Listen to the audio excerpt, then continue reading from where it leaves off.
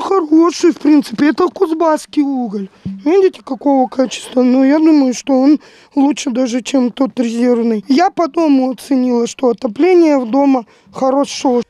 Кузбасский уголь Наталья Свечникова в своем районе купить не смогла. Местные власти предлагали приобрести тонну резервного, казахстанского.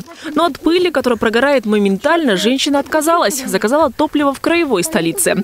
К слову, наладить поставки из Кузбасса власти Локтевского района пока не планируют, так как казахстанский уголь два раза дешевле разговаривали э, с, потребитель, с поставщиками э, разреза нашего э, кузбасского угля, чтобы привезти на территорию района. Если мы привезем этот уголь, он будет стоить в районе 6 тысяч за тонну. Население нашего района, привыкшее брать уголь подешевле намного, не в состоянии купить такой дорогой уголь. На низкое качество угля жалуются и жители Ярового, которые не первую зиму замерзают в своих домах. Идет некачественный уголь. Я работала в АТК в заводе. Мы анализировали этот уголь.